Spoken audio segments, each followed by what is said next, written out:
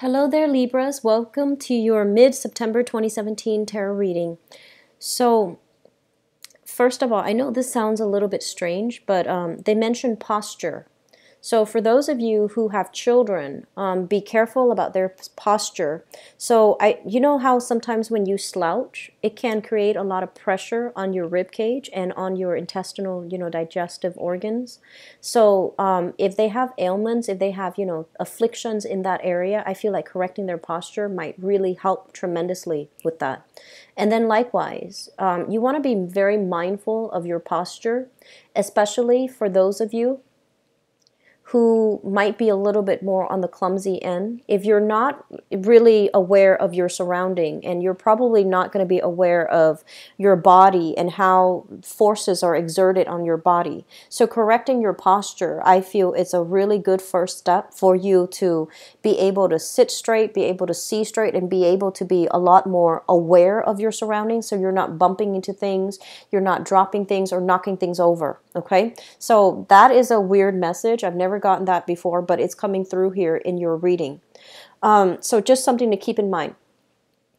Um, the other thing I'm feeling is um, it, it feels to me like this is a little bit of a heavy reading because a lot of these things are very subconscious, okay? Um, it seems to me like many of you have been so anxious about exerting your independence, about being um, about getting out into the world, you know, working, living your life, and not wanting to uh, obey or cater to other people's demands or expectations. So I feel like you have spent your life, you know, trying to debunk or dismantle other people's expectations of you. You wanted to be different. You wanted to be on your own. You wanted to be self-sufficient and independent. In the process of getting out into the world, you realize that, you know, those rose-colored glasses started to come off you realize that life is a little bit hard. I was not prepared for this. I thought everything was going to be all rainbow and lollipops, and I feel like your expectations were severely overturned. And at the same time, while you were dealing with all of these challenges, it seems to me there were always, you know, people or safety nets that you could have always relied on. People that you could call on when things got too rough and then, you know, they can give you financial or emotional support. And then for others of you, it's almost like um, it, it's almost like l- living your life as an independent person, but always having a home base to come back to. So you always had that support. You always had that stability. You know, if things get too rough, you can retreat. You can go back to somewhere. And f- so what I feel is like the last two months has been very topsy turvy for you guys financially.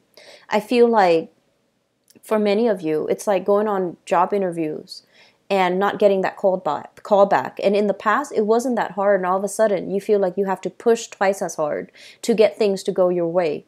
And then for others of you, it's like that support system you have always counted on. For whatever reason, that person might be on vacation, they may be, might be out of the picture temporarily, but they're not there. And so this sense of independence, on the one hand, you really value it, but on the other hand, it's like, how truly independent have you been? Have you relied on other people or have you been self sufficient the whole time?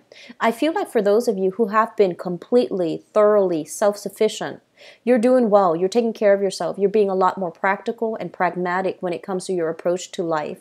Saving up for a rainy day, not not having to call on other people and really understanding that yes, I can call on them, but I want to take care of this on my own, or I don't want to burden them with my obligations.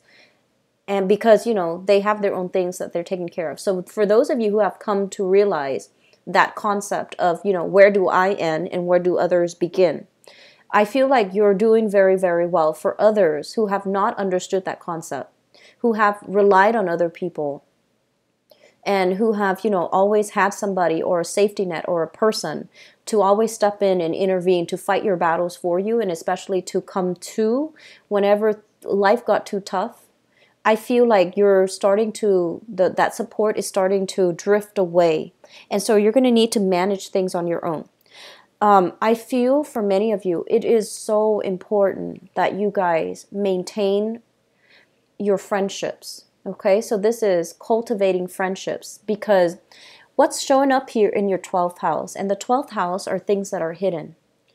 Um, I feel like for many of you, you care about people but the way that you interact with them it, it, it shows a lot of opposition it shows a very strong intellectual connection you have with people rather than a true emotional connection so forming these emotional connections and maintaining these friendships will be really good for you it's good practice for all of your subsequent relationships as well. When we're finally able to open up emotionally and not just, you know, talking about things on a very uh, intellectual or on a very superficial level, but really getting to the nitty gritty details and having an open, honest, emotional um, conversation with somebody. I feel like that has been really missing and vacant from all of your interactions with people. And so it's really important to start to foster these these things and nurture these things, okay? And the important thing is having a strong sense of being able to express yourself, being able to process and work through your feelings, being able to identify what it is that you're feeling and why you're feeling this way.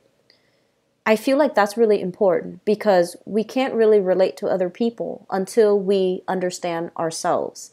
And so I feel like the reading is devoid of that. It, it doesn't indicate to me, it, it shows me like you're kind of bouncing around. It's like one foot out the door, wanting that independence, but at the same time, wanting to, you know, be taken care of. And so it's it's almost like for for some of you clinging onto a relationship because it's safe but knowing that you're not in love with that person and not wanting to let them go because you want the safety and the security of that relationship. And I also feel it's playing out in your work sector as well wanting a job because you know you feel like oh i know the ins and out of this job and i can do it with my eyes closed and because of that you feel good about the work that you do because every day is the same. But at the same time are you still growing? Are you still developing new skills or are you maxed out? So this sense of comfort you know doing things clinging onto things staying in situations because it's comfortable versus venturing out and truly activating, you know, that air sign quality of independence, of expansiveness. I feel like that's where the the inner struggle is really coming out for for many of you because on the one hand, you know, you want that independence. You want to prove to others that you can do it. But I feel like where's the part where you want to prove to yourself that you can do it, that you can take care of yourself, that you can be self-sufficient, that you're strong enough and smart enough to do all of these things on your own. It's like wanting to prove to other people, but you're kind of proving to the wrong audience because I feel like this needs to be proven first to yourself and you need to be able to convince yourself, yes, I can do all of these things. And then rather than just, you know, trying to prove, actually do it and try to, you know, make yourself as self sufficient and as, I guess, like, um, just in the spirit of growth. Don't stay in a situation because it's comfortable. Stay in it because it nourishes you. And then at the same time, seek opportunities for you to allow yourself to grow. Okay? So I feel like finances is a little bit shaky for some of you, and I do feel as well. They're saying new work will be coming in, and I feel like for many of you, you're longing for an opportunity to have, you know, that financial stability so that you can branch out and be completely independent, and that's fine. But I feel like it is coming in for you. And I'm also sensing work situations, they will get better, but I do feel it's important for you guys to know when I'm not growing anymore. I'm not learning anything else. So, so let me look at greener pastures. Let me find another job that can really challenge me and allow me to grow. Okay.